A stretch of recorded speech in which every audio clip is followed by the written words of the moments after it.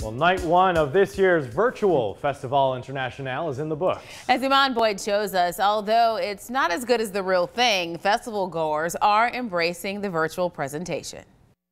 Although Festival International won't be happening here in downtown Lafayette for a second year, that's not stopping festival goers from enjoying the festival right here in the comfort of their own homes.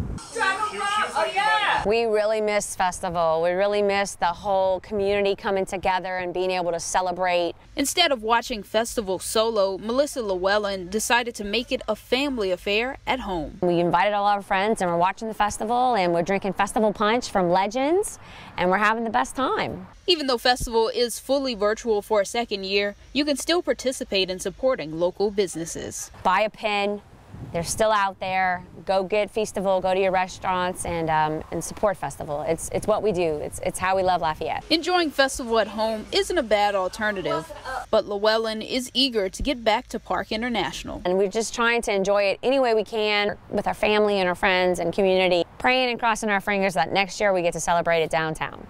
Festival will be live streamed on their Facebook page as well as their website. Also, Acadiana Open channel will be live streaming throughout the weekend.